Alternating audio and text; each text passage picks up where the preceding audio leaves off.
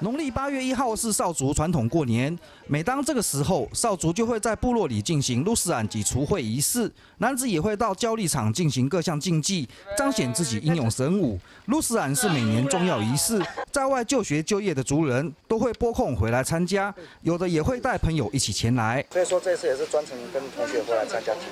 验，算是来体验一下。嗯，想要知道少族的活动是怎么样的。为什么会带同学一起过来参加？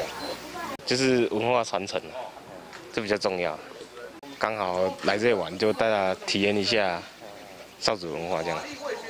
让更多人知道。这场少族祭典盛事，邻近族群也前来观摩。呃，我觉得他们的呃文化附赠做的很好，因为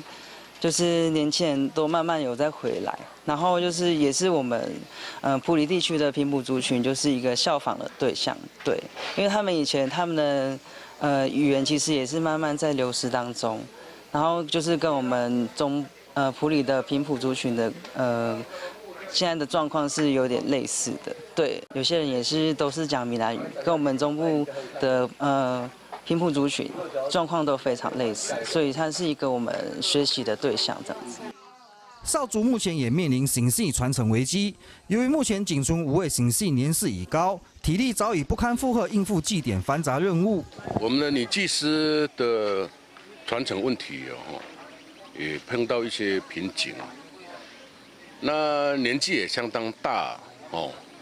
那事实上，你技师就说，他总共有这么五十几个主灵缆，他都每一个都要要去要去练，所以是先谢表达这样的意见呐。所以我们今年